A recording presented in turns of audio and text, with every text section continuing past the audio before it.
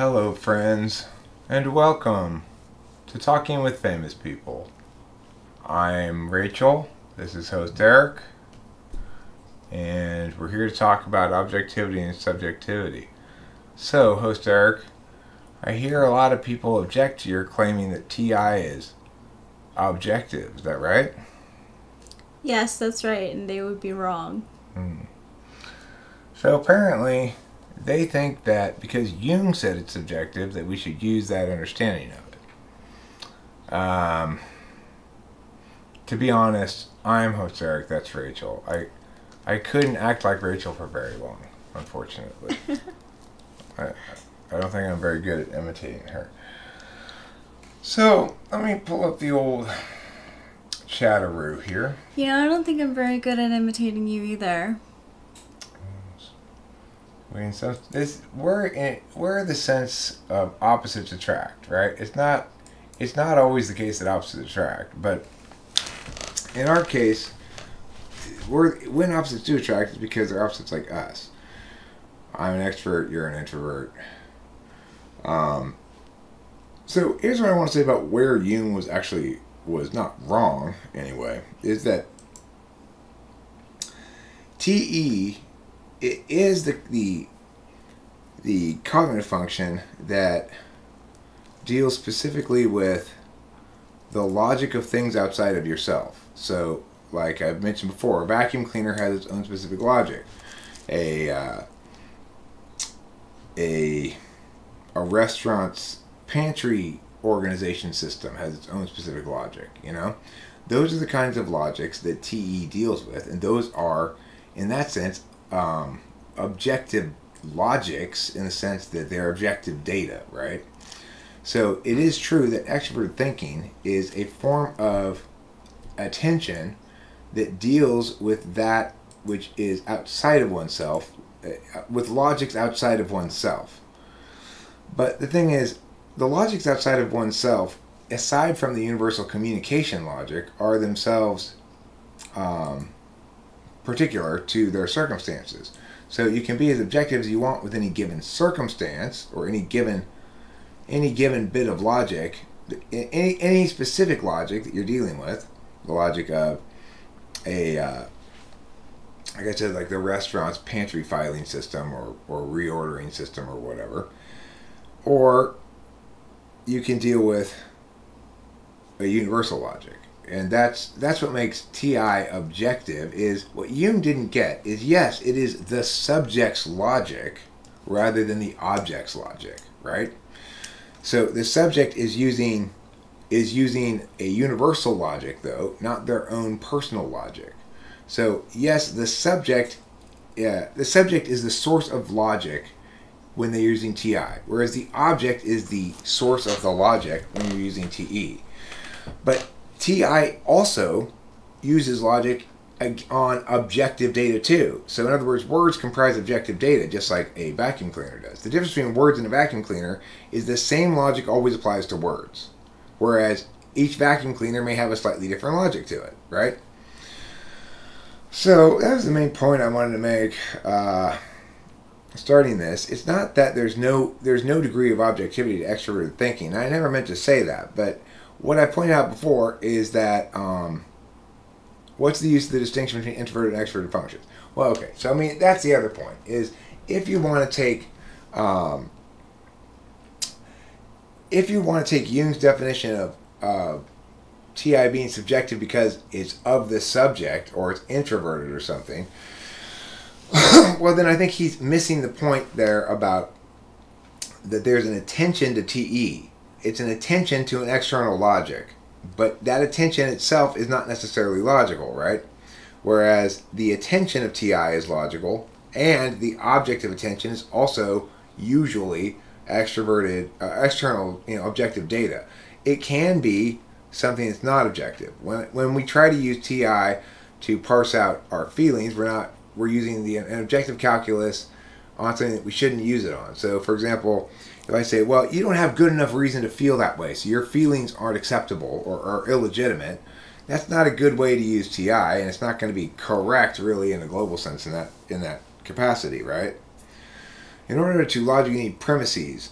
So that's in order to do conditional logic. But there is a logic to to everything that say every machine, you know. Um, the, there's a logic to this, which is to say that if if you want it to make sound, you just have to do anything to these strings. But if you want to, to make a specific sound, you have to push down the right place, you know? So that that's the logic of a guitar. It's not it's not conditionally logical. I mean, you can turn it into conditionals like I just did, but it's um, it nevertheless has its own logic. To play the guitar is is not to learn the logic of anything else, right? The only other kinds of things that have the same logic as a guitar are other guitars. You should be TIing with objectively observable truths, right? Conditional logic only matters if it correctly corresponds with reality. Well, that's a very SETI perspective on things, uh, Legends Fall. To say the conditional logic only matters if it corresponds correctly with reality. The thing is, conditional logic matters because it tells us whether or not not whether or not somebody's correct, but whether we not whether or not we ought to afford them the status of correct. So it's like you can say whatever illogical shit you want, but when you're advocating for something, then we need to check to make sure that your advocacies are justified with good good reasoning, which is to say they're consistent within themselves. So, for example, we check this is this is one thing we check against. We check against hypocrisy, right? This is one way that TI plays out in the real world that matters to people, whether they're TI people or not. So, a, a non-TI person might be just fine with with strict mask laws that that force everybody to take control of everybody's face. I was typing somebody the other day, uh, and I asked them the question. So, what do you think if I am advocating in favor of a of a law that requires everyone to wear a hat on Wednesday because uh, it lowers skin cancer rates? And they're like, "Sounds like a good idea." Um, it's in a totally honest way, you know. Like as soon as I mentioned that there's going to be some saving lives or whatever, they just oh, no matter how oppressive or ridiculous it is. The thing is, but even even non-TI people will recognize hypocrisy. So they may be fine with this law that forces everybody to wear a hat on Wednesdays, but they're not going to be fine if the lawmakers themselves don't wear one, right? Mm-hmm. So true progress. That's that's a good example of what reality is the reality is there's a law that forces people to wear all this, these masks.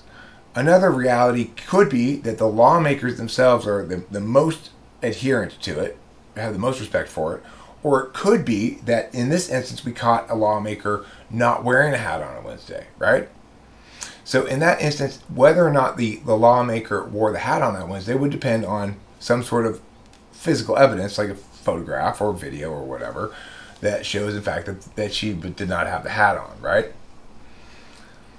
So, eh, it, it, eh, to some extent, when you're talking about reality, what we're talking about is is objective data. There's objective data, and then there are objective calculi. Okay, objective calculi are simply disinterested calculi where you're trying to determine what withstands scrutiny, not what might be or whatever else, right?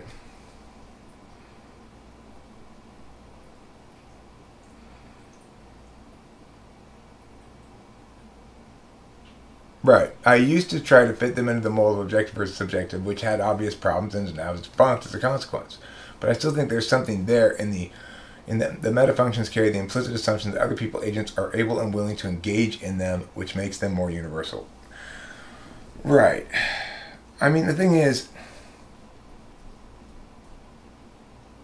correspondence doesn't substantiate logic. I don't think anybody was trying to substantiate logic with correspondence. No, lo- logic is implicit to grammar. Uh, it's it's sort of axiomatically so. It, it's implicit to the fact that we have words such as and, or, and if. You know. So there's there's it's because. Well, sure. Like okay, so what Legend says there, and, and look at look at the video of clips I did the other day showing T.I. Polar. That woman gave a very a nuanced answer. I, I put the most nuanced part too, so I try not to make her look bad, you know. But uh, she gave a very nuanced answer to a TI question. she said, well, it's not really the case that only meow, meow, meow, meow, meow. And it's not really the case that there's not any other ways that you could survive or not avoid moving. So, in other words, she just said these kinds of questions are pointless because it's never corresponding adequately to any reality. We all know that a, a hypothetical, a hypothetical, right, doesn't need to correspond to a reality to be tested for validity. So there's there's no need to, to correspond to anything to be valid. That's the beautiful thing, a universal universal thing about the logic. You might say it's arbitrary, or you might call it axiomatic, or whatever. But uh, as a matter of fact, validity is as it is, not because of agreement by people, but because uh, the same reason that you know you can you can call two and two and four different names, but regardless, the idea that that two and two add up to four is sort of implicitly there.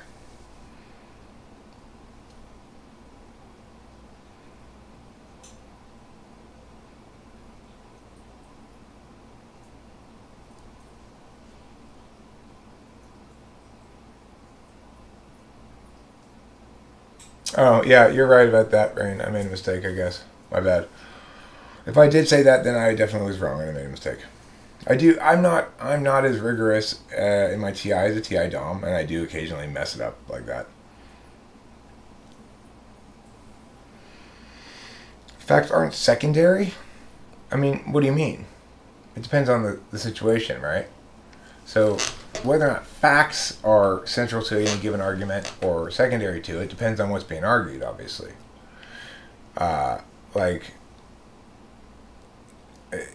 when I when I say facts, I guess I mean bits of objective data that everybody can reference easily enough, like a statistic or something, right? I mean, there's there's two there's two elements to any any fact, which is one the, the fact itself, two how it links to the framework of whatever argument you're making. So, eh, eh, so it's like there's an interpretive element to it, regardless in any advocacy. You got to remember that all of these things that we're doing here, what you're doing, what I'm doing, what Hambone's doing, whatever, blah blah blah, it's all advocacy based. In other words, we're trying to say these are the right words for the right things, and blah blah blah blah blah. And and the ultimate the reality is when we are dealing with those kinds of things, advocacies and words based stuff, then that's when TI is great. It's perfect because we can actually figure out who's most right, who's most wrong by basically getting rid of everything that's wrong and whatever is left over is right. Um, I'm gonna smoke a cigarette. Let Rachel talk for a minute. I'm sure she is. So she'd like talk about as well. It's probably not related to this. What do I want to talk about?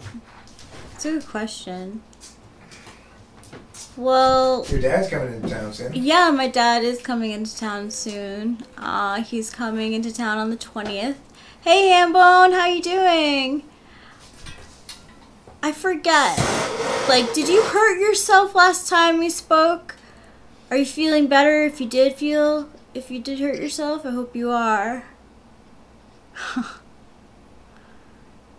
Do you touch yourself when you're feeling lonely? Hambone? I believe that's the song to the Divinyls, the lyrics of the Divinyls song.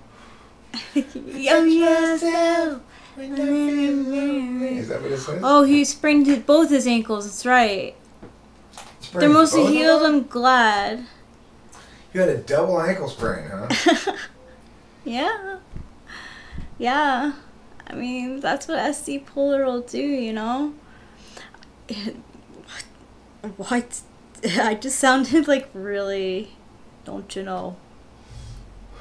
That's Some- right. It's true. Something. uh, Yeah, well, sprains will do that to you. They have the longest. Uh, they take the longest to heal.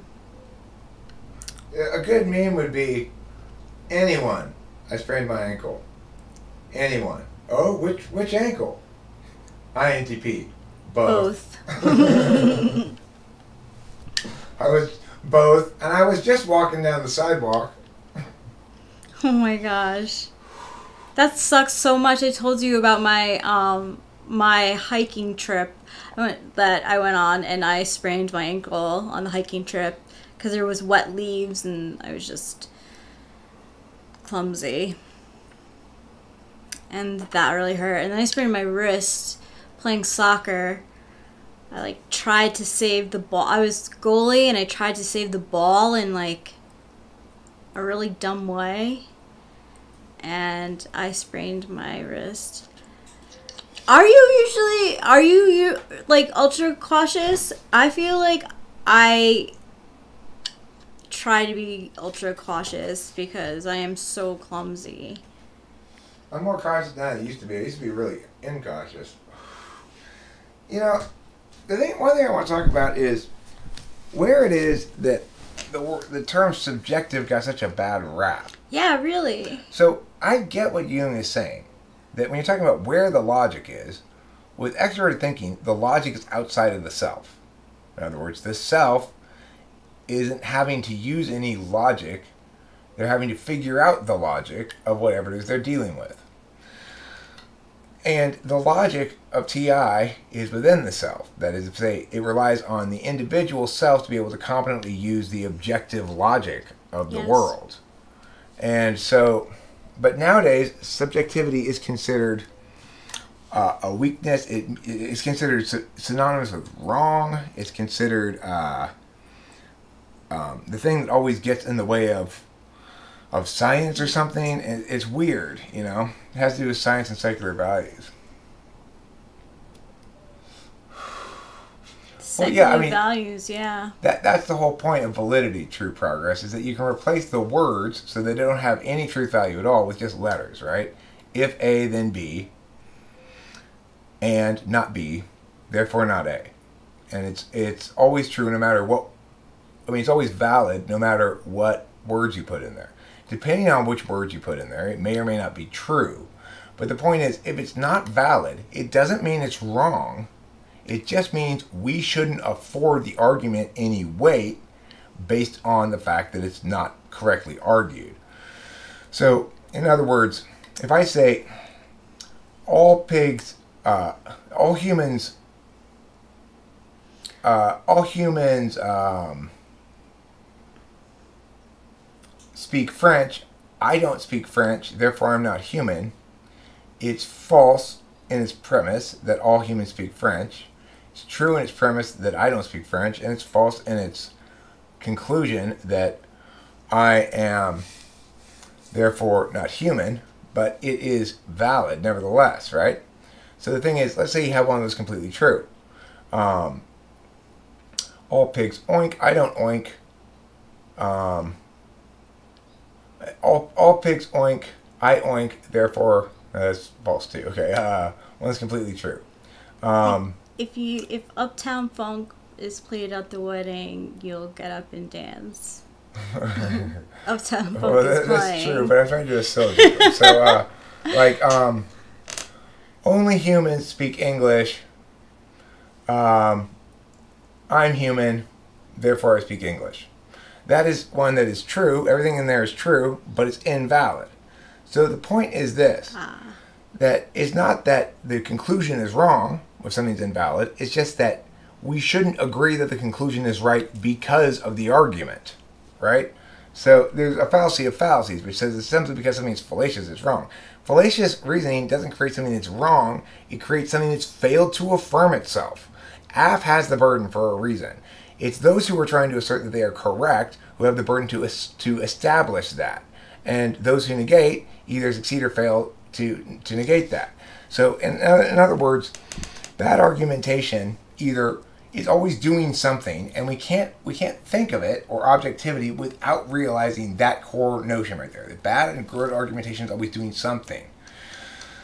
So, in other words, um, ARB. if I'm making a bad argument in favor of the correct position, it, then I am doing a great disservice to the correct position because a lot of people will fallaciously conclude that because that person's arguments are fallacious, their conclusion must be wrong.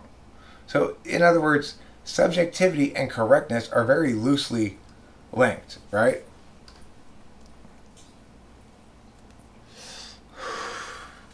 But the problem is people don't understand that fundamentally, um, TI is about negating that which fails to attain legitimacy.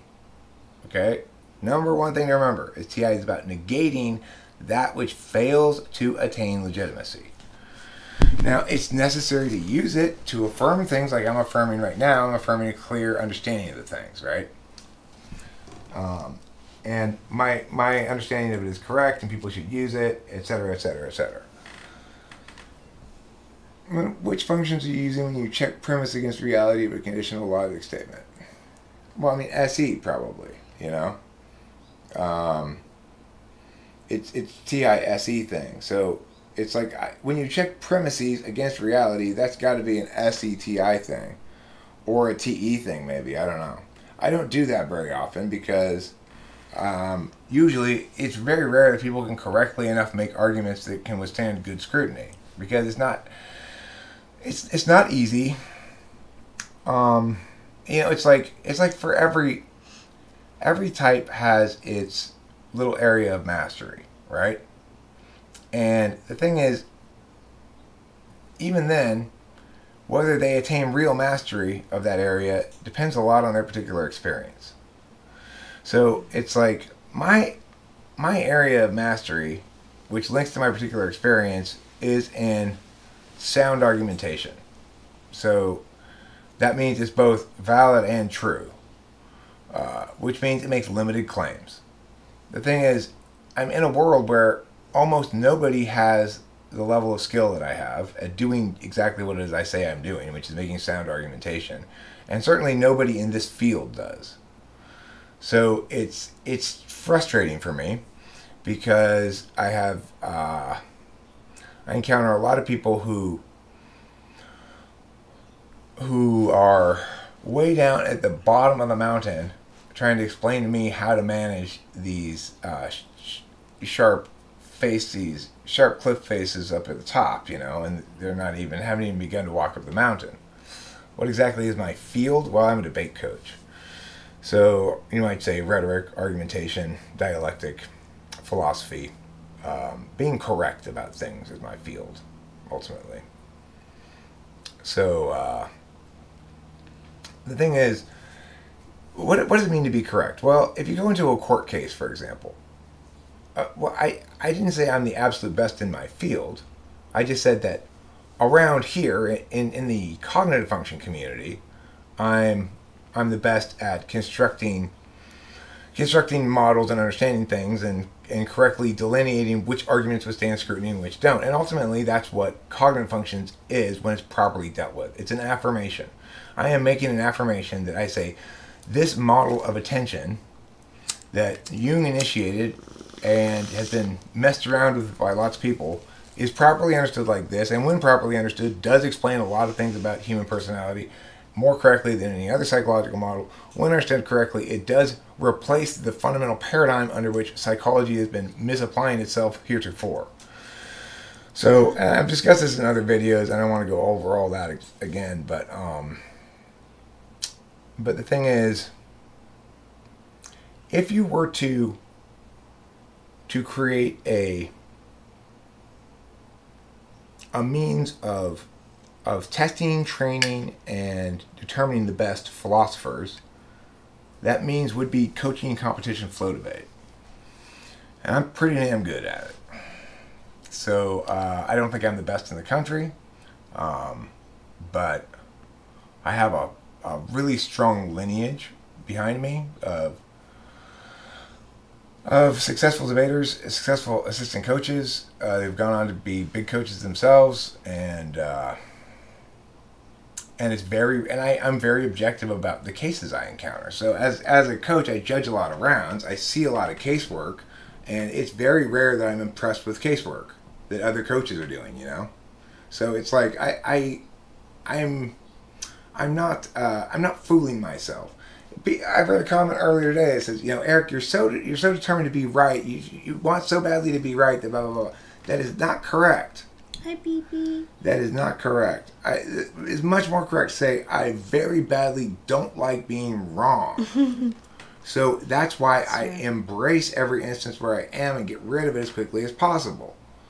Um, I, I don't like having to defend my my positions on on professional legitimacy grounds but I recognize that a lot of people do judge that way. So then I typically will say, okay, well, this is why. These are the sort of this is the sort of training and life experience I've had that makes me atypically capable of handling this shit. But people don't like to hear that either because then they think I'm bragging and being arrogant. Um, it's a catch 22 I've encountered before. People want to shit on me or doubt me or make make claims to the contrary. You know, things about this whole Jung thing, right? Well, Jung says it's subjective, so it must be subjective. You can have never observed the objective world in any way. Change your mind. I mean, what are you looking at right now? I mean, what the thing is, what's the objective world? Remember, there's objective data and there's objectivity in decision making. That's it.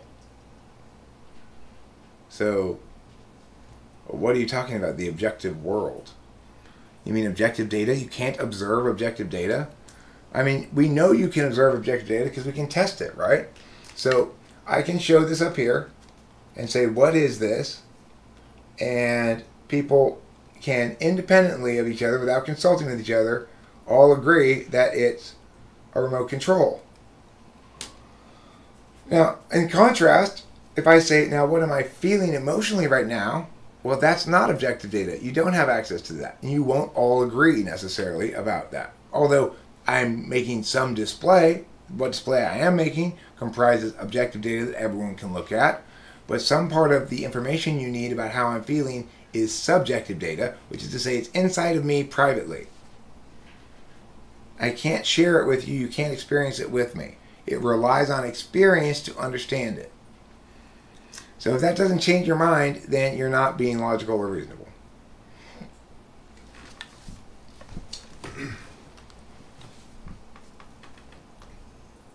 I mean, the thing is, what I would say death by monkeys as well is you define some terms, so we'll see if uh, we'll see if you're worth even dealing with, right? A good logical thinker ha- disagrees or agrees because they've defined terms in certain ways that indicate certain things. That's how it works, right?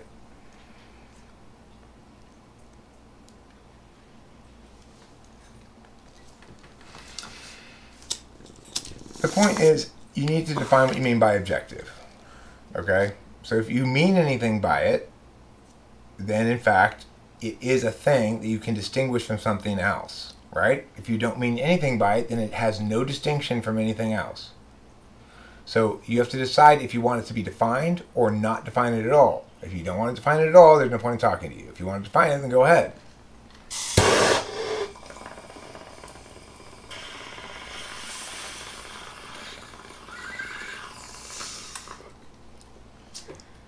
And of course,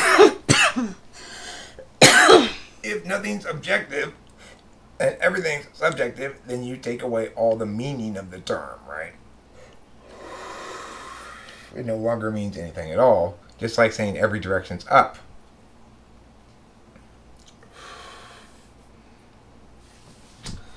Teaching people the basics about thinking. Did you? Yeah, sure. So obviously, Good evening, Steely Bob. Hi, Steely Bob. Obviously, this is a topic I've covered many times Thank before. you. I'm sure I'll cover it many times again as well. Um, yeah, it's just just being a troll. Oh my god, I have been in that hole too, Death by Monkeys. I mean, yeah, if you if you want to just sort of NI your way out of any kind Yeah. of reasonable thinking, then go ahead. that. but that, that's what that's what it's called when you don't have enough TI in the mix. All right, it's like uh, that kind of spiritualist nonsense is not going to meaningfully describe. It's not any kind of meaningful psychology.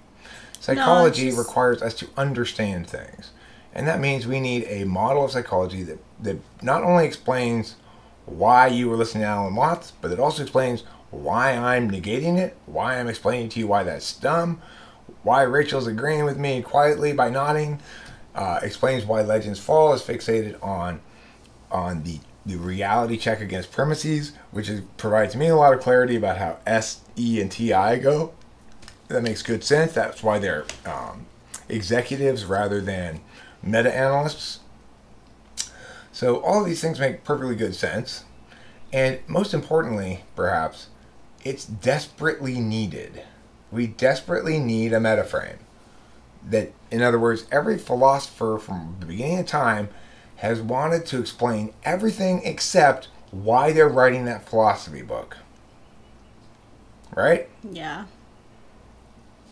It, it's it's been it's been a deficit in human thought since the beginning of time because objectivity purportedly removes the self from the equation.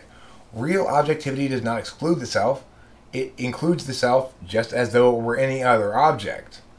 So, in other words, I am just as much a slave to my type as you are to yours, as as Legends Fall is to his, and um, we can exercise more or less free will by sort of learning about and um, and recognizing when our reflexive attentional habits aren't well suited for the circumstance. But that's about as much as we can do, you know. Maybe learning, um, maybe learning about who to defer to in certain circumstances is a wise choice. Like who who's actually competent here? I feel like if I were to, That's a good. if I were on a de- deserted island with a bunch of people, I'd know very clearly who should do what and who should be in charge of what. Yeah. I said that before, too, that you would be very good at delegating. Delegating all the Delegating, tasks. yeah, Yeah. delegating. Um. So I mean that that's the key thing is like if you look at all those philosophers in the past, they're all talking about the nature of reality and the nature of humanity and stuff. But why are they talking about? it? If they really understand the nature of reality and humanity, then explain explain to us why they're doing what they're doing right now. Well, only cognitive functions really allows you to explain that. Everything else doesn't explain it. It might correlate it to attributes or something, but that's not an explanation of any kind of mechanics. So it's pretty powerful if you think about it, to to to recognize that cognitive functions represent a paradigm shift that humanity desperately needs because it's been suffering under the wrong fundamental paradigm for all of humanity's time. Heretofore, prior to Hume coming up with this shit. And even then, in the aftermath of that, it really took till MBTI for things to become popularized, and MBTI got it wrong. Then, you know, and then somebody with too much NETI going on, like too much NE in their TI, comes up with uh, socionics. Before you know it, you got Model G, Model F, Model whatever, blah, blah, blah. Look, there's one correct understanding of the thing, one correct explanation of the thing, right? And it's not that complicated.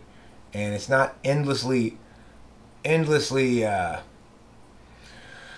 divisible, divisible. And, you know, it's like if you let your your intuition run wild, you end up with a million subtypes like Dave Superpowers and masculine and feminine and blasting and playing and sleep and a bunch of other fucking garbage. Or you end up like socionics where you've got infinite numbers of dichotomies, none of which are de- delineated between actual uh, function matters, process matters True. versus um, versus just behavioral correlates or whatever.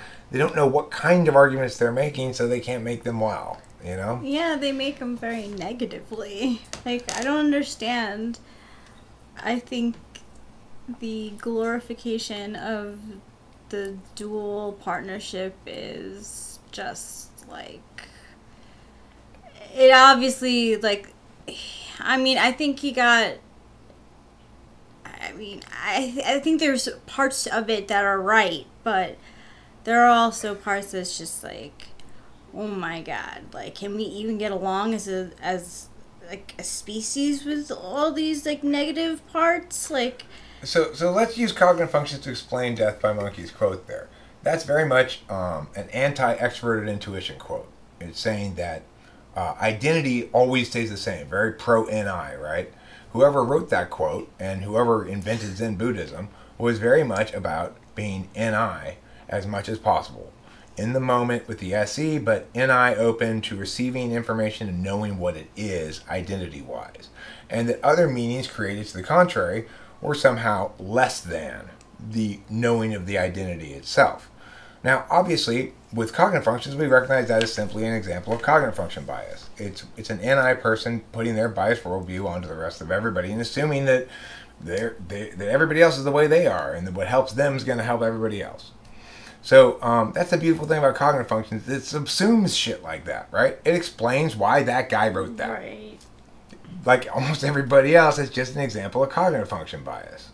Now, the one place, of course, where it's appropriate to to insist that a certain cognitive function be prioritized, there are certain things where that's appropriate. With law or philosophy, it's appropriate to insist that we use TI. In other words, things actually make sense for everybody universally and not just for the people who want it to be like this way or that way. So, you know, OP doesn't make sense for everybody universally. Socionics doesn't either because why? They're all negatable. If you get into the argumentation of it, there's nothing there. It's just garbage. It just doesn't make any sense. Blah, blah, blah. People who try to combine a bunch of random pieces that they like and feel like without testing them for, for uh, they fit together under the same framework, it's all garbage right? But if you do it correctly, it's the single explanation that makes everything clear. Yeah, I mean, since I've been typed correctly, I could say I, there's just like stableness to who I am that I didn't have before when I was like searching for it. So it's nice. um, there's a, uh, you know, the thing is.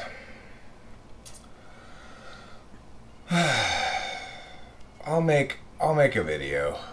Uh, I've, I've made plenty of videos about this topic before, but like the, the gist of it is this: it's pretty straightforward. Four of the functions are communication functions. Four of the functions are experience functions, and everybody has three of one and one of the other. Okay, in some order. So, the reason we have one of these configurations is. Uh, no, I didn't completely misunderstand the quote. I understood it completely. I, and I also understood the subtext of it, what you were trying to do with it. I just didn't acknowledge that directly because I don't typically acknowledge passive aggressive shit directly. So, no, you're never going to. No, I didn't misunderstand it. Not at all. To be clear. So, anyway, the gist of it is this the mechanics of the thing are as follows. If we were going to model it so that we could simulate it with a computer, we need to do so by um, breaking it down into fields, objects, and vectors. Um, the fields in this instance would be the external metaphysical field, which is what we're on right now, talking, where our attention is. We're attending to the words and meanings being expressed. Um, the internal metaphysical field, where you keep your thoughts and ideas and think when you're not saying that stuff out loud. The internal physical field, when you get a stomach ache or something. And the external physical field, like stuff that you can bump into, right? So, uh, um, okay, Death by Monkeys. I'm probably am a little fired up right now. It's like when I read people saying the same stupid shit over and over again in these comment sections about objectivity and subjectivity and not listening to me, right? Like not responding to what I'm saying so this is why I wanted to stress in this video where Jung was right. Jung was right in that TE deals with objects, it deals with logics that are outside of the self. So in that regard, the logics of the thing that you're dealing with outside of the self, whether it be how to organize a business uh, with its with its um, with its scheduling of employees for hours and stuff, or whether it be about how to fix a vacuum cleaner, whatever the specific logic is, is outside of the self. So, in that regard, TE deals with objective logics. But it's the thing is, that's not what people mean by objective. That's only one half of the equation. So, yes, TE deals with objective data, but it deals with it in a subjective fashion which is to say, it determines how it wants to interface the logic according to its interests, not according to some universal standard, right? And uh,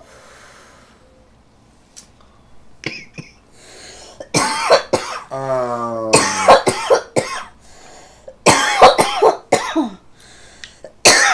whereas TI also deals with objective data.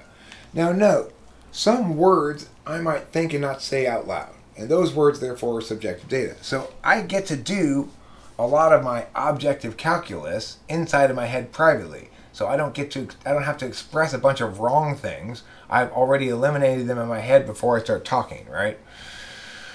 Um, but the thing is, if I were to speak those words out loud, then they'd become objective data, and somebody here would say, No, that doesn't make any sense, Eric. You're wrong because of meow, meow, meow, and challenge what I'm saying, right?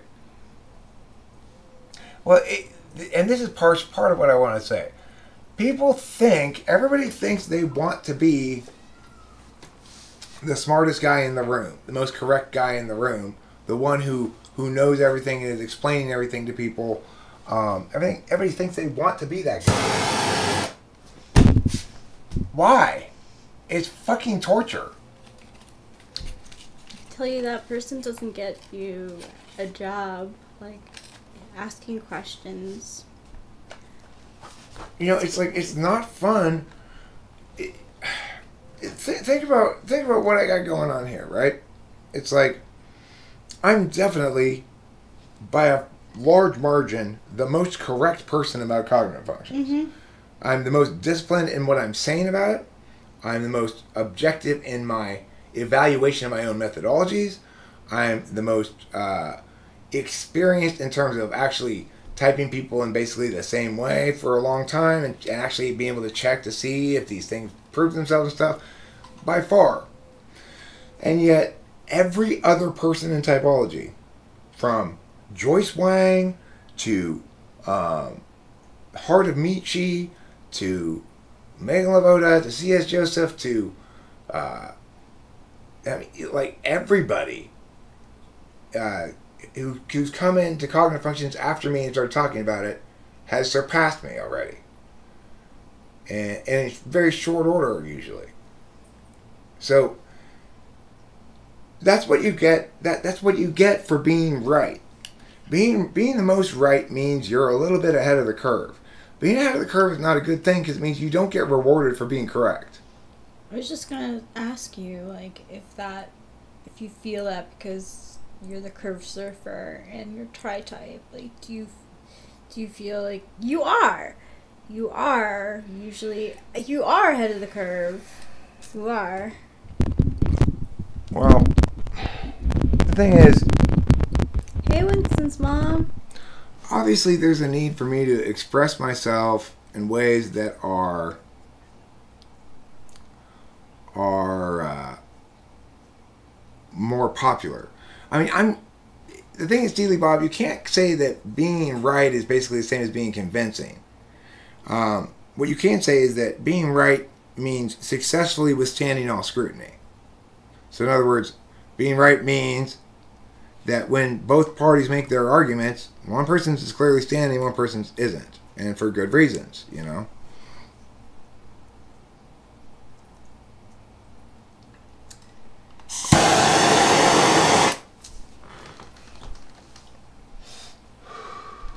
Yeah, I appreciate you guys who are here, by the way. Um, I, I do greatly appreciate uh, those of you who do like to watch me and be here and communicate with me and stuff. And I don't mean to be, of course, you're the only people I could take it out on, right? Yeah. uh, yeah, I don't, I don't dispute that. That one being right isn't always enough. One must, one also needs to be convincing. But the thing is here, I don't think anybody's claimed I'm not convincing. Uh, they're just not interested in being convinced, right? Uh, so it's like, to the extent that I wanted to be more successful, I'd have to, I'd have to be more NI and less TI, which doesn't necessarily mean being wrong, but which means subjecting yourself to a lot of um, bullshit scrutiny. Oh, you explanation of the framework, sure. So basically, agents, um, pe- people act as either agents, subjects, or objects. Okay, in any given moment, in any given snapshot of of time, somebody might be observing two other people, one of whom is kicking a third. Obviously, the observer is the agent, the kicker is the, the subject, and the kicky is the object, right? So, in order to understand human attention, then, we need to recognize the fact that from an external perspective or from an internal perspective, uh, we have three kinds of expressions of self agent, subject, object, observer, doer, done to. Okay, so once we recognize that, then we've got these four fields, right? External metaphysical, internal metaphysical, external physical, internal physical. And so attention basically works like this. Extroverted intuition puts information on the external metaphysical field, mostly, or on the external internal metaphysical field. Those are the two fields in which it operates. Um, ex- sensing puts information on the external physical field uh, or on the internal physical field. So you can hit yourself, for example. Um, the introverted sensing gets information uh, I'm, I'm sorry, receives information or retains also, it's a knowledge function, retains and receives information from the internal physical field and the internal metaphysical field. The introverted intuition uh, receives and, and knows about information from both the external fields, the external metaphysical and the external physical field.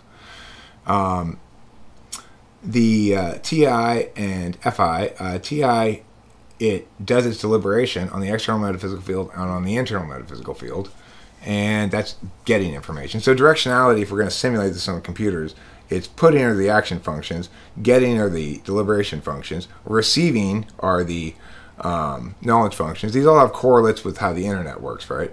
Um, and then there's an interface functions, which are TE and FE, which are basically ways of of doing a metaphysical physical exchange.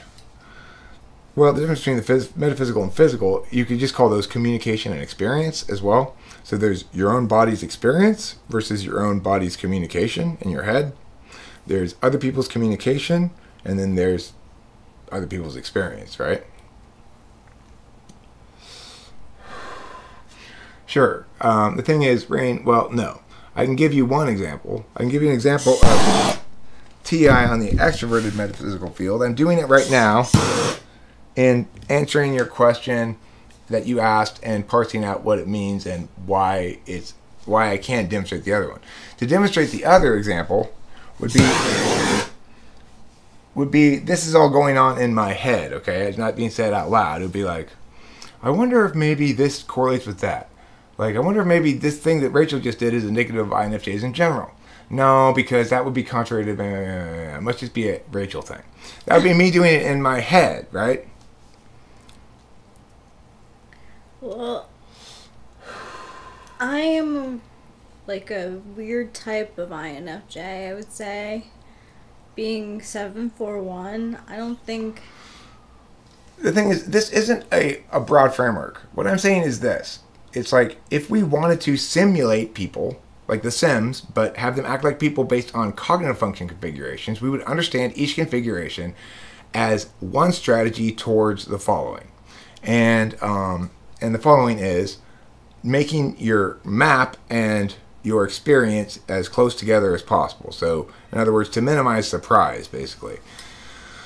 Um, Gen Xio, the problem is when I told you that, I got something wrong. And that's why I haven't used that, is because it's wrong. I didn't want to tell you to redo it because I got some things wrong on it. Uh, the problem is, like, I now recognize that NI NI is on both external fields. It, it's, it's an externally focused form of attention. NI is about receiving information from outside, right? SI is about receiving information from inside. So, um, okay, all right, all right, Genexil, I will. I was embarrassed to tell you, so I didn't tell you. Uh, it's third slot FE kicking in there. Um,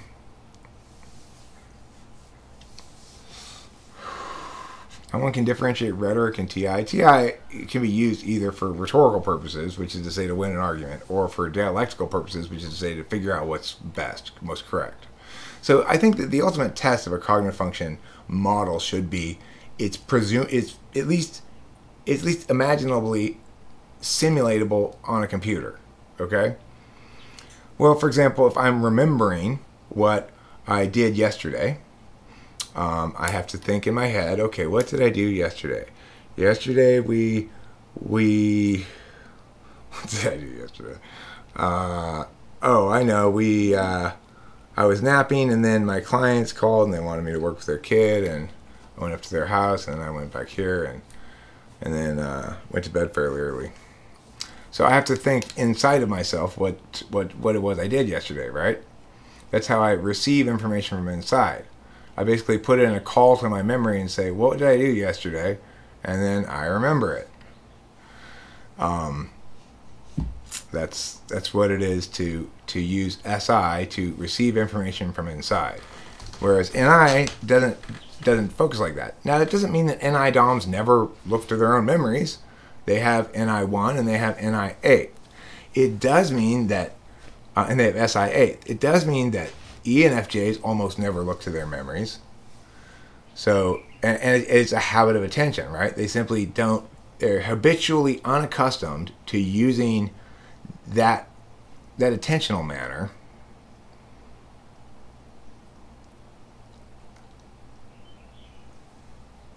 I'm saying that TI can attend either to thoughts you've thought out yourself or they can attend to somebody else's thoughts. You're using your TI on my thoughts right now, right?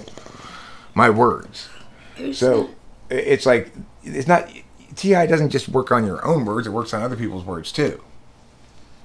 I was just gonna ask how does um what's a Rachel thing versus an INFJ thing? Um Curious.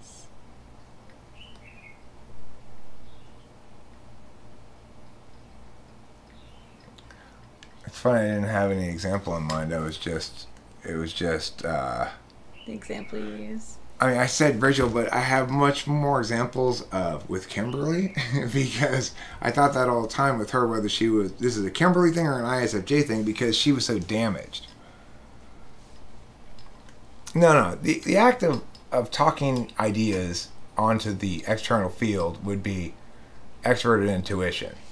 If you were going to simulate it, right? Now, obviously, by simulating it and, and breaking it down into such put, get, receive kind of things, we are we are simplifying things or making it being a little bit reductive probably. But um, in other words if we but but the other thing to say is that if we can't do that then we're not we're not using a system that's worth even talking about right? Then you're just talking about Eckhart Tolle shit or whatever. It's no longer it's no longer meaningful. If we can't simulate it and test it in that fashion it's not meaningful. So anyway the uh, the interface functions TE and FE would seem to uh, would seem to pay attention to uh, the I, I'm not sure about TE and FE still as far as their field engagements because there are interface functions that sort of convert shit like TE seems to convert stuff the logic of the external uh, world into an ordinality, uh, an, uh, a subjective logic that says we should do meow first, meow second, meow third. I don't know what it is. Express it to me. What do you know what it is? What is his argument? That's cool, horse mumbler.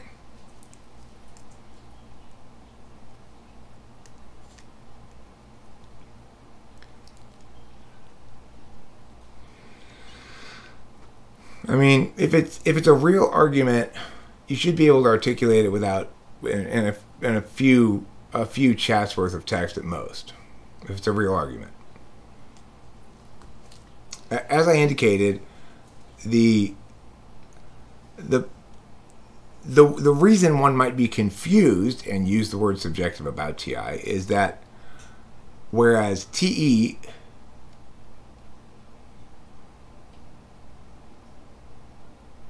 Okay, well, it's true that um, in any log in logic, in conditional logic, that that logic can be valid but come from a false premise, leading to a false conclusion, even though the reasoning is valid. That argument would be called unsound because it's valid but not true.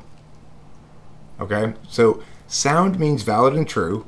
Valid means valid, and uh, and false or true means false and true.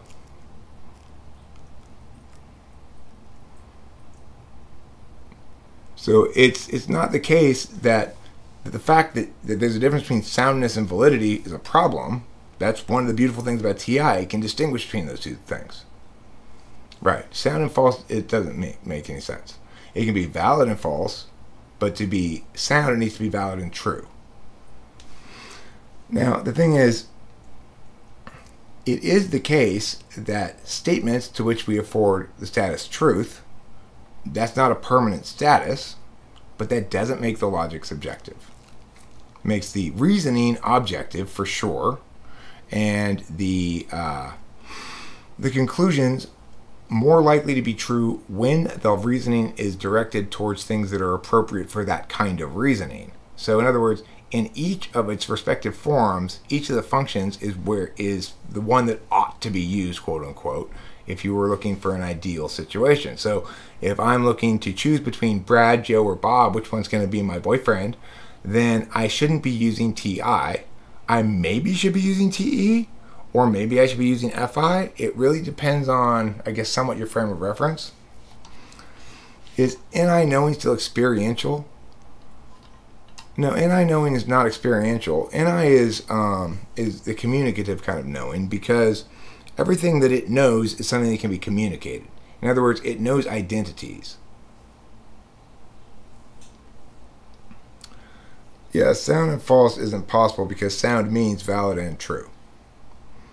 So it is the case, and we did discuss this shortly before you got here, Winterbird, that one can have something that's true and invalid. You know, only humans speak English.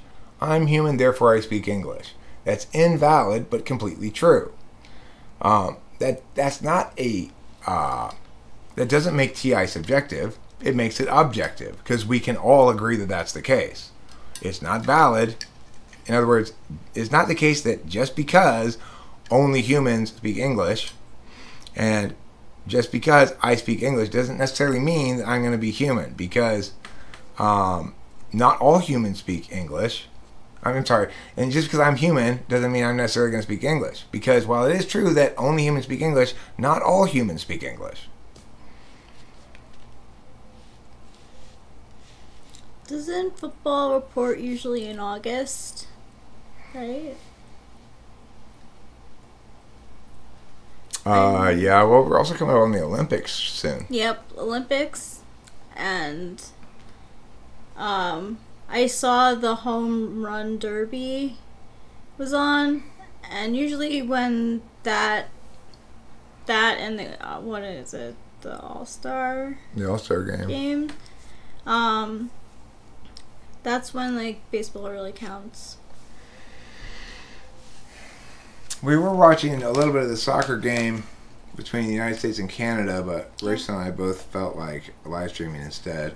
I don't think it's going to be a particularly long stream. I know we need to do some cleaning, and uh, Don't remind me.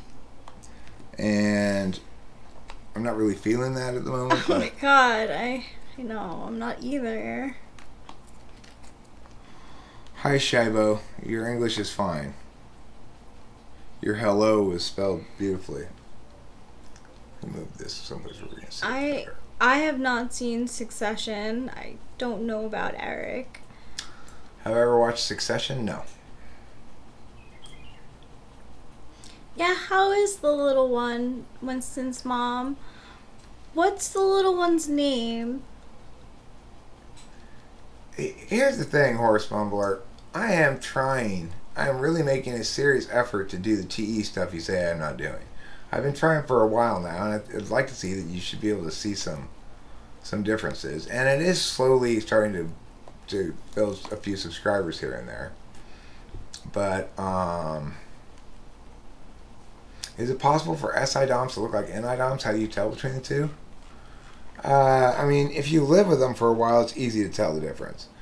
Like Rachel, Oh, instead of having instead of having like habitual things that Rachel says, she'll she's much more likely to echo what I say in some or some variant of it. yeah, I find it easy.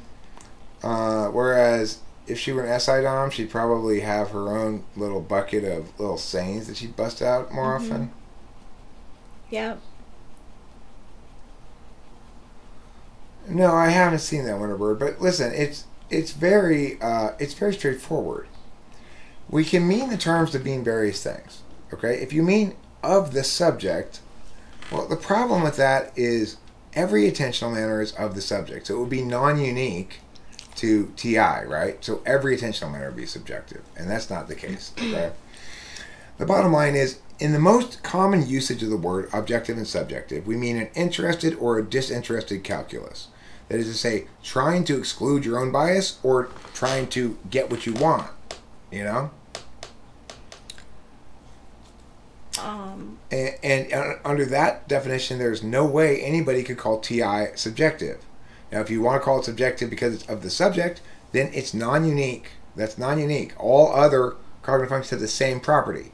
If you want to call it subjective because it's introverted, well, why would it be that all introverted functions are subjective and all extroverted functions are objective? And if that were the case, um, then uh, why? And the answer would be, well, because you're paying attention to something outside of yourself. Okay, well, I agree. If you're paying some attention to something outside of yourself, you're paying attention to objective data. But paying attention to objective data does not mean making an objective calculus about objective data. And if you're not distinguishing between those two things, then you're not being real when talking about the subject, unless you've got better definitions or something. I've never heard anybody meaningfully contradict anything I'm saying here, ever.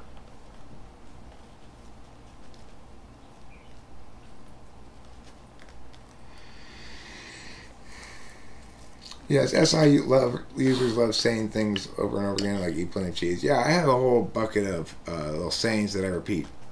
Uh, you know, I'll, I usually, when I see the cat, I'll say, uh, uh, kitty freshness pants, or, but there's, I have a lot of different ones, but, you know, among them is kitty freshness pants. Bad external source, objective, valid reasoning, subjective. Well, I mean, the thing is, you can't have a bad you can't have bad objective data. Um, it's either not actually objective data, eh, which which means to say, like if I publish if I publish some study results, but my methodology is bad, it's the totality of it is objective data as long as I'm able to do the methodology critique, right? But if if the methodology proves sound and the data is there, the data is objectively what it is for everybody. What makes it objective um, is that everybody can see the data and look at it the same. It looks the same to everybody. This is objective data because everybody can see it and see what it is, right? And it's um, I'm not hiding it, making you guess at all, and it's not it's not something inherently personal or private to me. So, uh, so in other words, you can have bad analysis of objective data, but the thing is, that's that's where what makes that analysis either bad or good is whether or not the TI is good or bad. So, in that regard, uh, bad analysis of objective data is a subjective analysis of, of objective data, but um, or a, a failure to be adequately objective in your analysis of it. Remember that an objective analysis of objective data only produces a conditional conclusion. All TI acknowledges that the premises might be wrong, but that that's why it's the it's the logic of communication, not the logic of stuff in the actual world.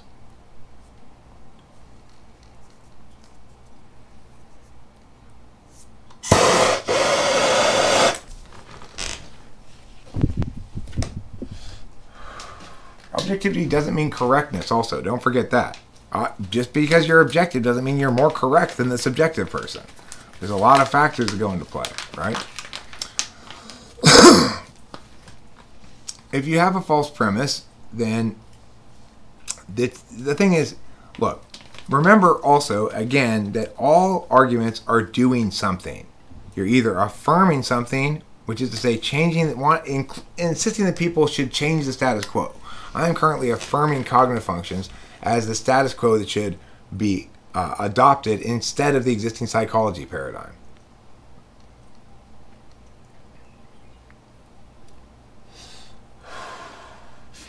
But the point is, because I'm affirming something, it is the case that if I'm predicating things on bad premises, that those who choose to challenge what I'm saying will point that out to me. You know, they'll say this this premise is false. It's true. Um, that's why I I build my ideas from a very few central axioms, right? So that um, everything's defensible all the way down.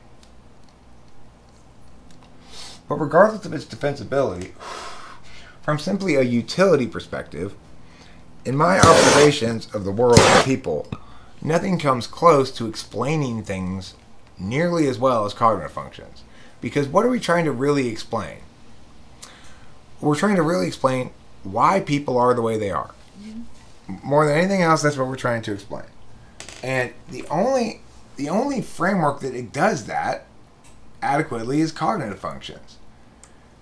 You know, existing frameworks have typically been that all people are basically the same, and deviation between individuals is the consequence of uh, of nurture stuff.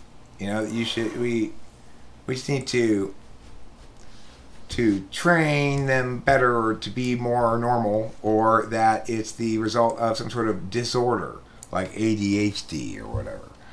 Um, of course, the the reality is, if you look at the Big Five, it's saying everybody's the same, but different people have different amounts of these attributes, like openness, agreeableness, conscientiousness, etc. Right? Except we don't; those things aren't just attributes, right? People don't actually have those attributes. What people have is a complicated relationship between creativity and organization, for example. And to, to reduce that to low conscientiousness is absurd, right? It's missing the point. Those things are on, it's like saying, um,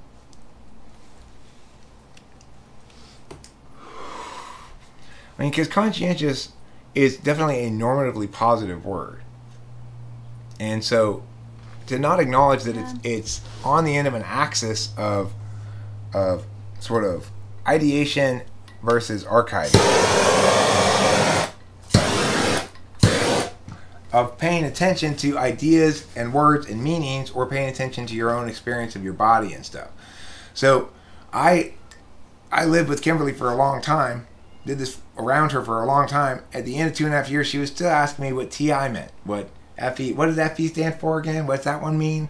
Because she didn't really put any effort into learning it and she doesn't naturally pick up on those kind of metaphysical things. As an NE Dom, as an NI Dom, Rachel and I just naturally think in those terms and and find uh,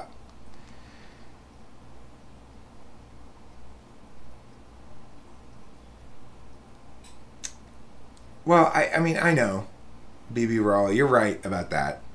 Um, I when I, when I live stream, it's usually because I feel the need to vent about something. It's not really to be convincing um, to people who may or may not be convincible. But I, I did come into this one with a slightly different angle, which is to say that here's where Jung was right. The logics that TI that TE attends to are external objective logics. So in other words, if I'm fixing the vacuum cleaner, the the logic is objective in that if I don't put the pieces back together right, it won't work. You know. Uh, but that doesn't mean that the attentional manner is objective, because the attentional manner you could call it objective, I guess, and that is dealing with objective data, but it's really driven by the subjective. In other words, you know what you want Mia to look like the logic of how to get mia to mia is outside of you, is objective, but the fact that you want to get mia to mia is a subjective conclusion. So, what end you reach and and being satisfied by that conclusion is entirely subjective, rather than in TI where the end you reach, the conclusion, is an objective claim that people can dispute using the same objective reasoning.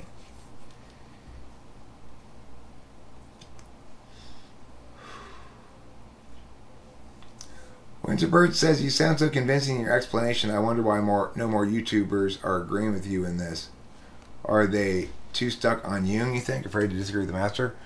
Um, well, I mean, the thing is,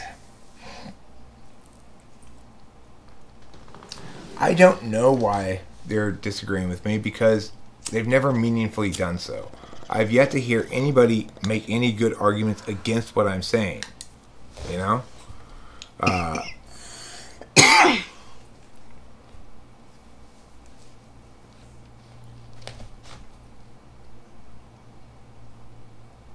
why don't don't all the extroverted functions validate externally?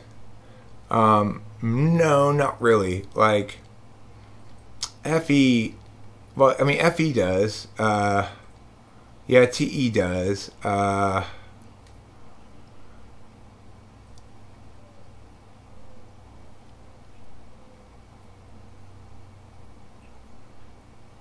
I mean, yeah, I, I guess that's true. I guess the, the, thing is, I, well, let me put it this way: the only functions that really validate are FI and TI. So, in other words, to validate whether your TE has been done correctly, you need to check your FI and say, "Is this what I wanted?" Yes. Okay, great. No. Okay, it's not good. To validate, so for example, um, here's an example of of validating uh, using objective data but internal validation things. So when I when I was done with my clips video, I felt uh, pretty good that it was what I wanted to do. In other words, that my TE had gotten me from a bunch of random video stuff to this this tightly edited clips thing. My TE had done what I wanted to do. They had done the TE part pretty well. In other words, that I achieved what I wanted. When I published it, however, um, Rain left a comment that basically said he gets what I'm trying to do, but it didn't work. And I found that very depressing. And that's because what I really want is for everybody else to like it. So, um, again, I'm validating with my FI in both instances as to as to whether it's good or not. Uh, you might say I what I didn't do, and always have trouble doing, is validating with my NI. Um, in other words, um, I don't trust my intuition when it comes to my own media when I'm first finished with it. I, I just can't I can't seem to know whether it's good or not or how good it is. However, um, you mean the, the short clips one? Cheese. Would Right. you like some cheese? Thanks, darling. You're welcome. Well, all right. Let me let me demo something right now. So here's an exception, sort of, but it's not entirely an exception, I guess. But, so there's this song that I've been working on playing, practicing that I'm quite smitten with.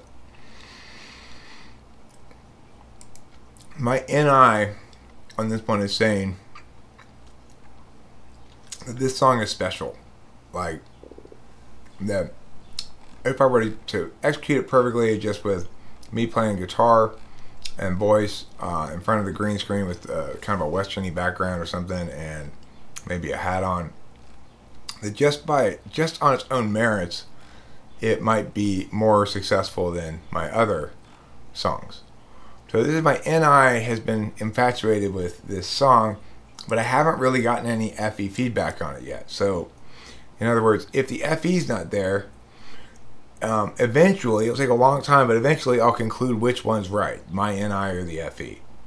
Um, but I do rely on external validation ultimately because I'm third slot FE, polar FI. All right, so let's play it and see if you guys agree with me. Um,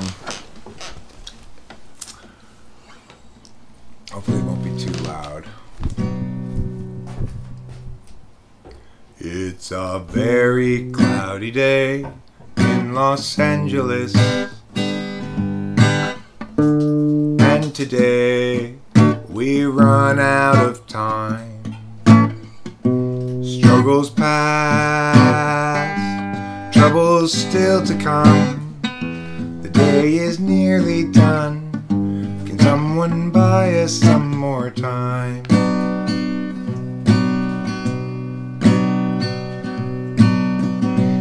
Cloudy day in Los Angeles. Cloudy day in LA. I'm no sort of evangelist, but I've got something to say. Cause life can strangely be forgiving to those who stay awake all night. Mostly voices say to give in, they'll try to sap your will to fight.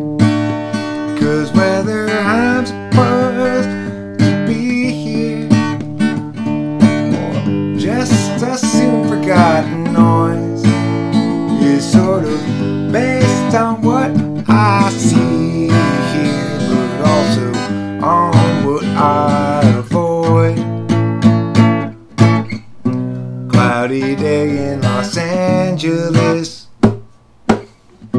cloudy day in LA. I'm no sort of evangelist, but I've got something to say.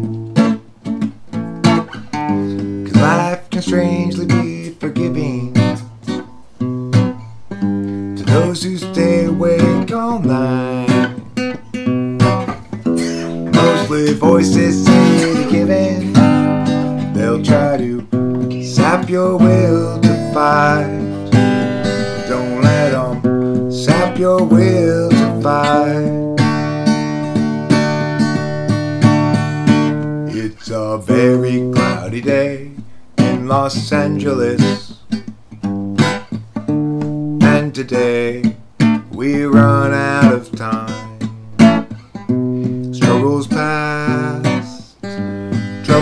still to come. The day is nearly done. Can someone buy us some more time? Looks like we got more time.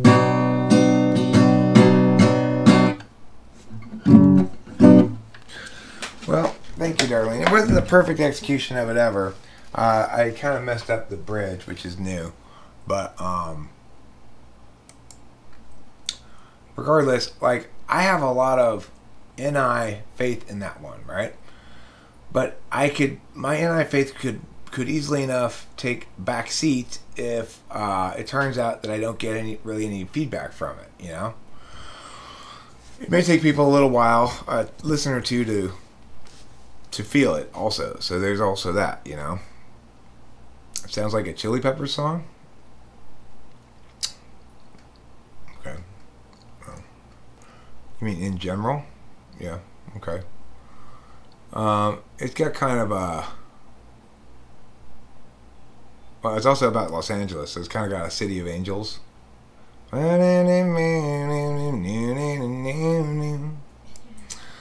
Um, but yeah, it's a very different song than that. Uh,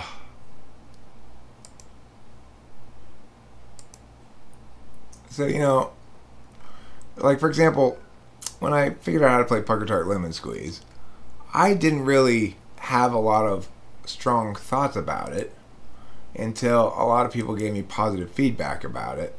I thought, oh well, this actually is a really good song. Um, prior to that, I just sort of thought, well, it's it's kind of a kid song because the kids' lyrics, kind of, I guess.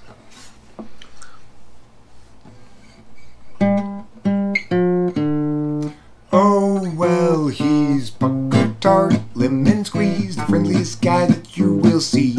Yes, he wants to be your friend, but he comes from around the bend, and it will be a while till he sees you again. He's Pucker Tart Lemon Squeeze, he's a friend to you and me. He's international delights. Favorite go-to right-hand guy, he's international like him, and he's also busy like his friend, the beaver bee. Busiest creature, busy as a bee, busy as a beaver, and so much busier than Pucker Tart Lemon Squeeze. Well, he's Pucker Tart Lemon Squeeze. Shabba doo ba da ba ba doo day. Shabba Tart Lemon Squeeze. Shabba doo ba day. Yes, he's Pucker Tart Lemon Squeeze. Shabba doo ba da ba ba doo da. Pucker Tart Lemon Squeeze. Shabba doo ba day. And, and if you go to visit him for starts, remember to bring something sour or tart. He's not a fan of sugary treats because he's pucker tart and not pucker sweet. Well, he's pucker tart, lemon squeeze, the friendliest guy that you will see. Yes, he wants to be your friend, but he comes from around the bend, and it will be a while till you see him again. Pucker tart, lemon squeeze, international lights. favorite go-to right-hand guy. He's international like him, and he's also busy like his friend, the beaver bee. Busiest creature, busy as a bee, busy as a beaver, and so much busier than Pucker Tart Lemon Squeeze. Well, he's Pucker Tart Lemon Squeeze, shabba doo ba da ba ba doo. Pucker Tart Lemon Squeeze, shabba day. Yes, he's Pucker Tart Lemon Squeeze, shabba ba da ba doo da. Pucker Tart Lemon Squeeze, shabba ba day. Pucker Tart. That's a fun song.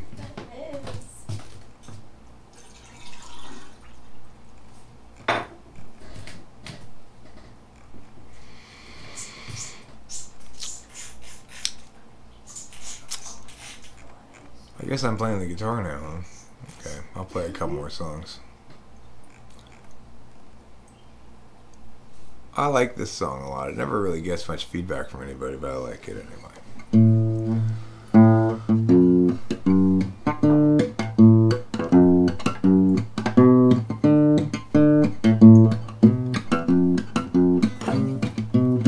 Santa Ana's from the east are blowing, driving down this mountain fire.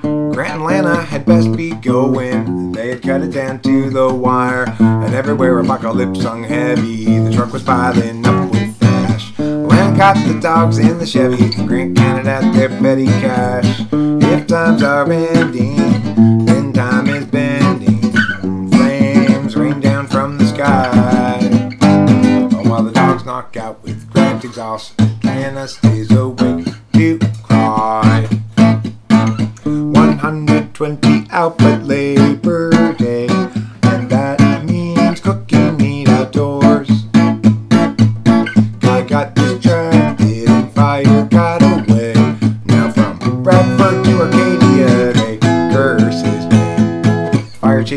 west and down the incline until they reached the foothills below. Found a room cheap for the night online. At least now they had someplace to go. Tomorrow they'd evaluate their options now that their life had burned away. Lana's sister has a place in Laughlin. Wasn't really any more to say. If times are ending, then time is bending.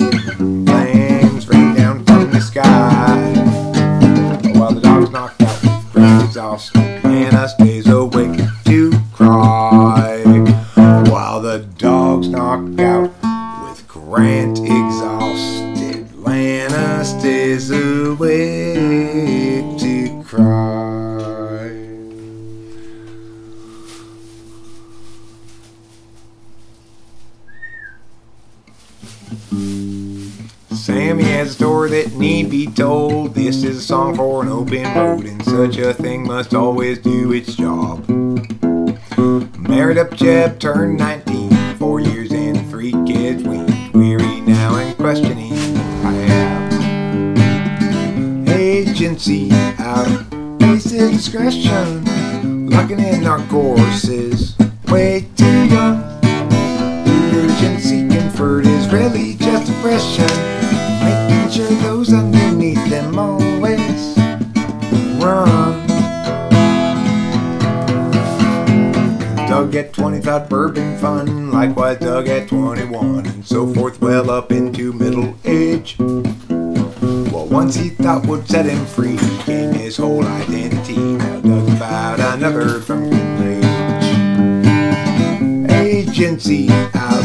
Face discretion, plugging in our courses. Way too young. Emergency convert is really just depression. Making sure those underneath them always run. Everybody's panic about the kids. Look them up, extra toxic Nothing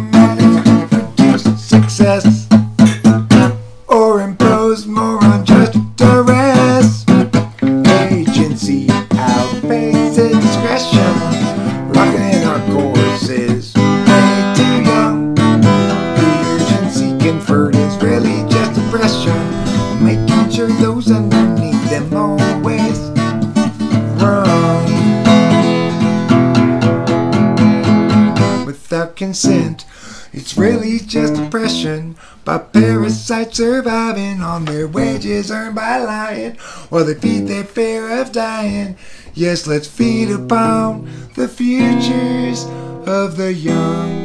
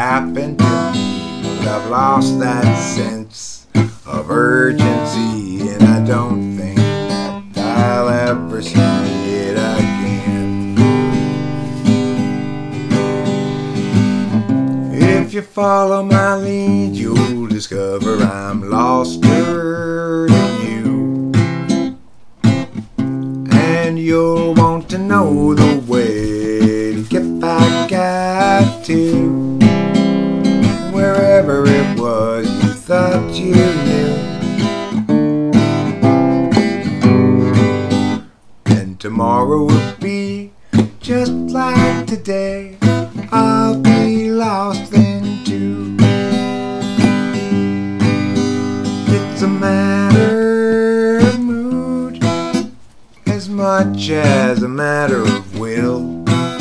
And the things I do and the direction I point to still seem a part of me, though departedly. And I wonder if I'll ever see.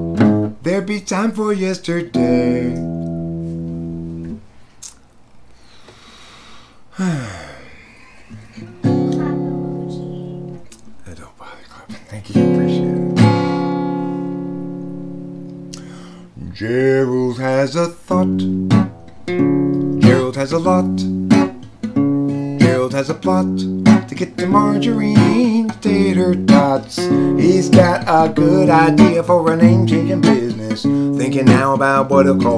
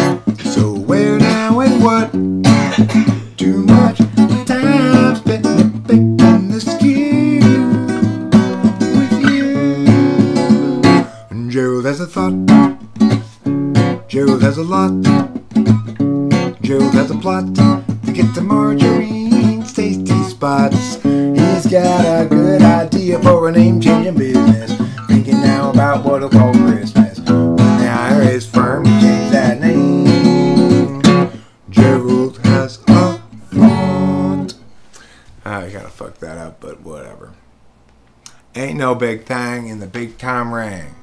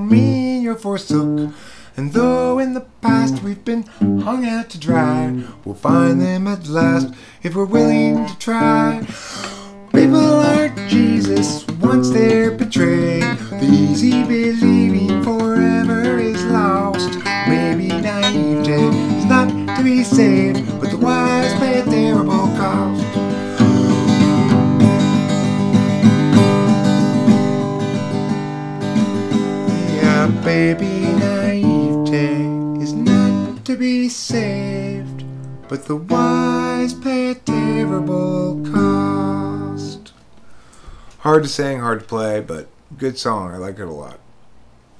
Makes me think of Doublemint Gum and uh, Trips to the Jersey Shore. What's the matter with Chad? Is he terribly bad? Is he very like Dan? Jill, stuck on her bill, rather like Jack. She's stuck on the facts. What's the matter with Sue? Will she know what to do if they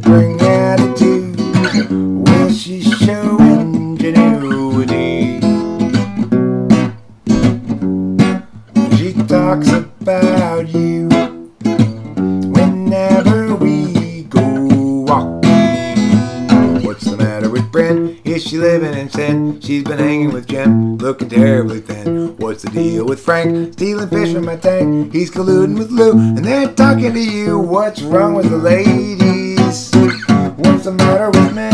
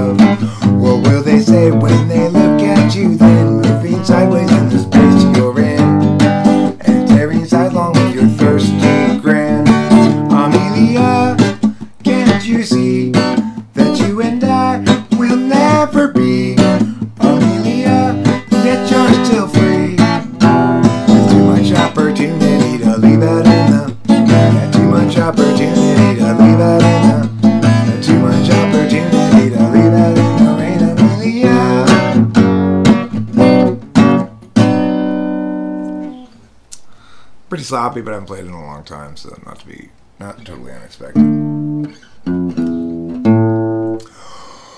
Oh, he came here with her. And what's the big problem that you can't endure? You seem so sure it's not appropriate claiming to blame things on Scott. Despite getting caught, he got you reframing for the gym to make yourself good enough again.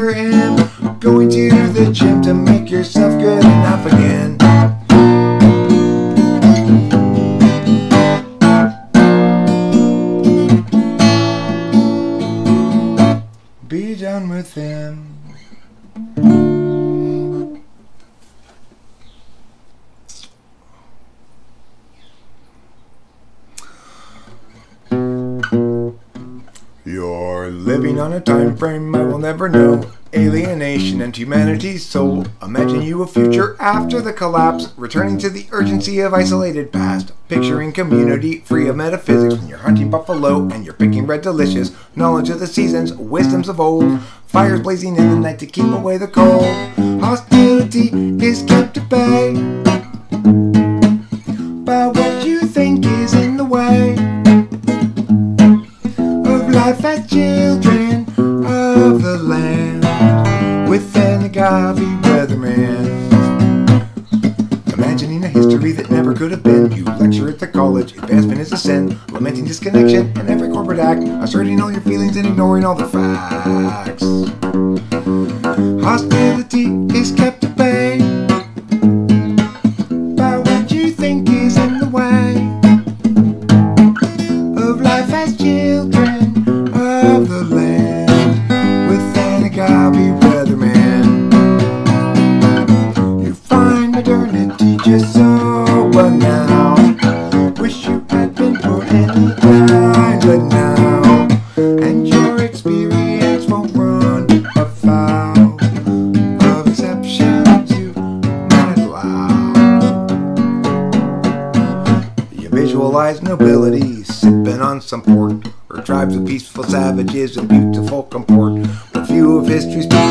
ever thusly did cavort, cause life was solitary, nasty, brutish, poor, and short. Hostility is kept at bay,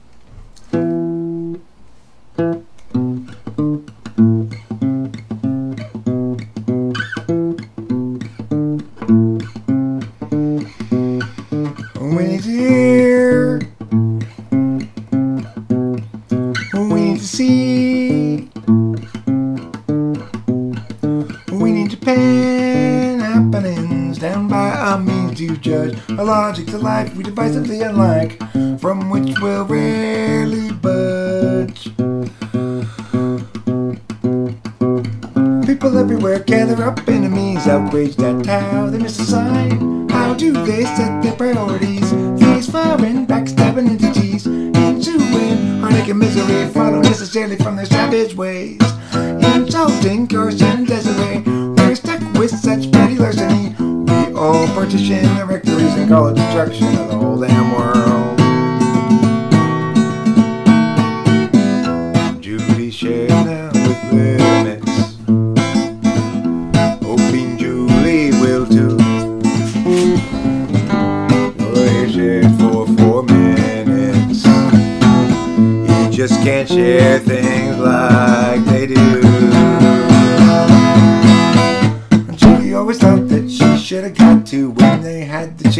goodbye. Julie soon forgot about shutting shut and all that she ever called.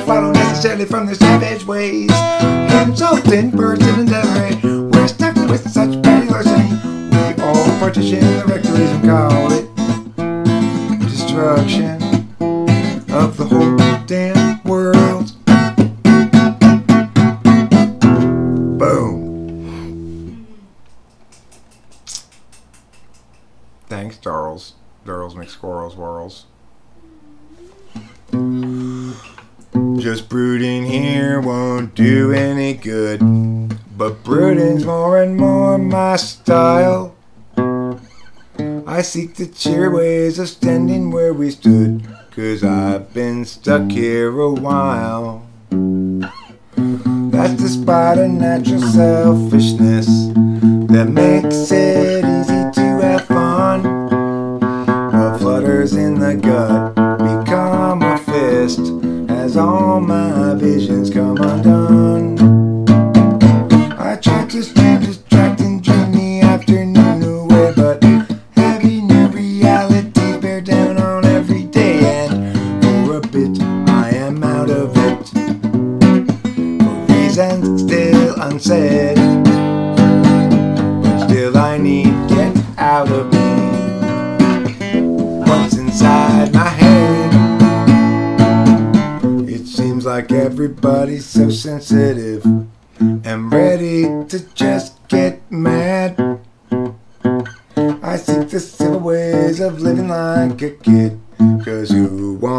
Be the dad?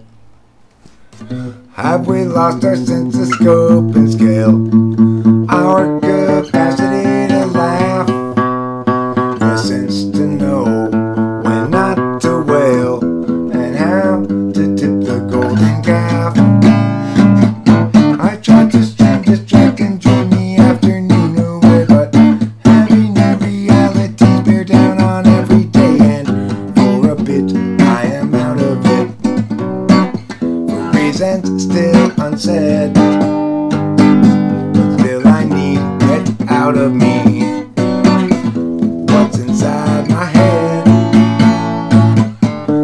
so sad, so sad for me.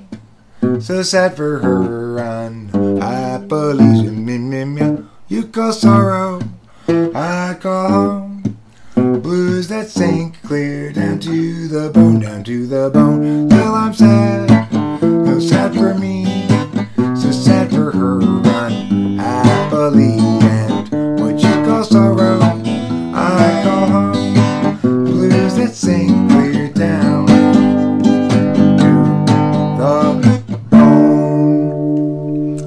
the way down to the bone. I'm gonna play this song I started with one more time before I call it. Um, yeah. It's a very cloudy day in Los Angeles. And today we run out of time struggles past, troubles still to come. Day is nearly done. Can someone buy us some more time?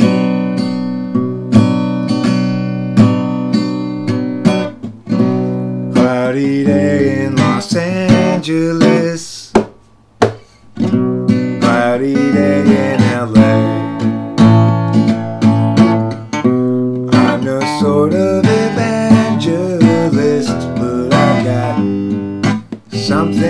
Say. Cause life can strangely be forgiving to those who stay awake all night.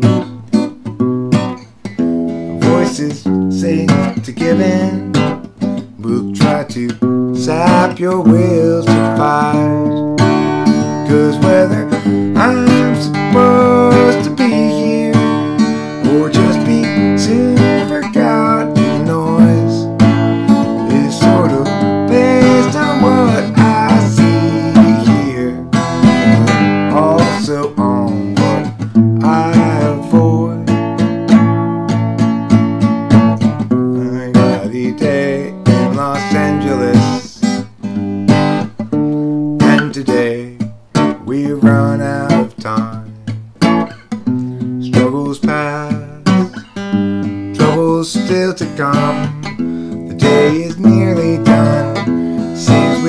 Some more time.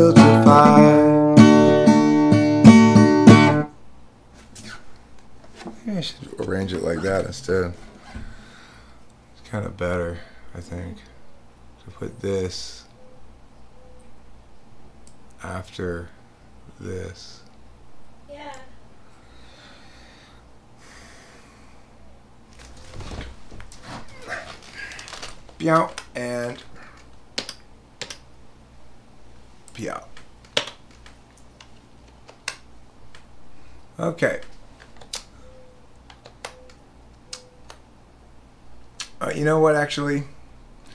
I've got one more song I'm going to play, which is the cover I like to play too.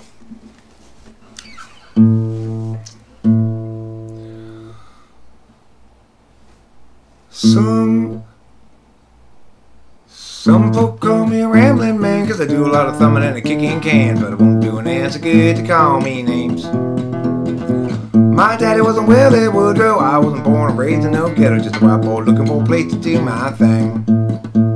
Yeah, I don't want no handout living Don't want any part of anything they give And I'm proud and white Got a song to sing. Well, I said a few things and I'll admit it. If you want to get ahead, you gotta hump and get it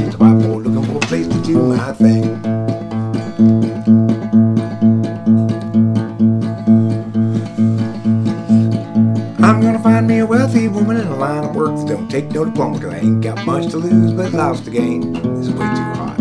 This is, I can't believe how hot this is. It's been this hot the whole time. Ay, ay, ay, Eric. You should have known better. You did know better and you just didn't do anything anyway. I'll take this from the top. It's too hot. So distracting to see it peak all the time. Some folk call me a rambling man Cause I do a lot of thumbing and a kicking canes But I won't do an answer good to call me names my daddy wasn't Willie Woodrow. I wasn't born and raised in no ghetto. Just a white boy looking for a place to do my thing.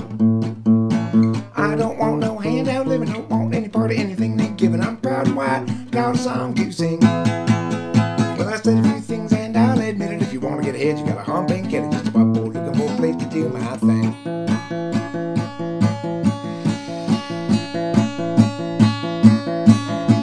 I'm gonna find me a wealthy woman in a line of work that don't take no ain't got much to lose but lots to gain.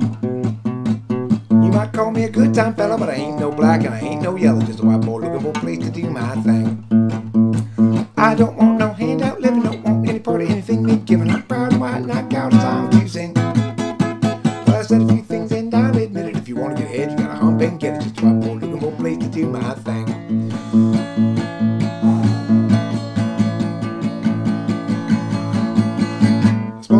Been around a little, and I like guitar, yeah, I like the fiddle, cause that's the kind of soul thing to pen my playing. Blue eyed Billy, feared and ready, I gotta work just to be somebody. I'm a white boy looking for a place to do my thing. Yeah, I don't want no handout living, don't want any part of anything they giving. I'm proud and white, a song to sing. Well, I said a few things and I'll admit it. If you want to get ahead, you gotta hump and get it. Just a white boy looking for a place to do my thing. Said a few things and I'll admit it. If you want to get ahead, you gotta hump and get it. Just a white boy looking for a place to do my thing. Well, I said a few things and I'll admit it. If you want to get ahead, you gotta hump and get it. Just a boy looking for a place to do my thing.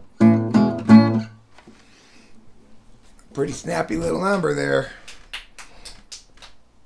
Okay. Um, I'm actually going to play my new song one more time because I want to get a good recording of it on the stream so I can listen to it with it's not not audio, not all fucked up. I'm going to play it one more time. Where it's not peaking.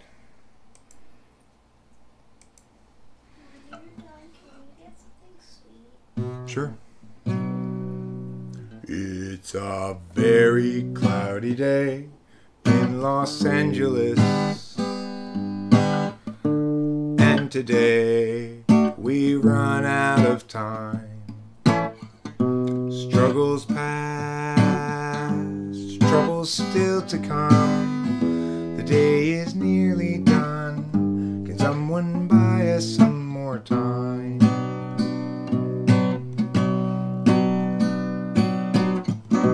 Cloudy day in Los Angeles. Cloudy day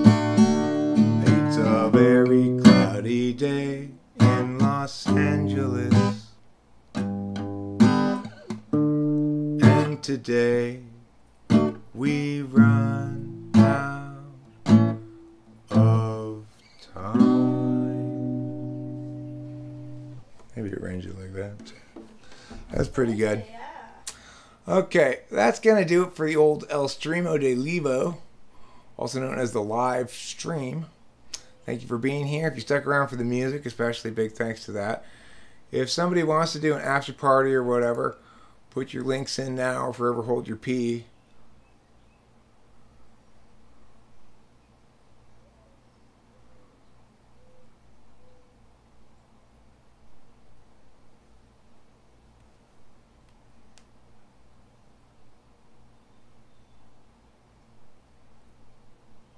Let's see what's going on here. No, it's not good. It's all bad.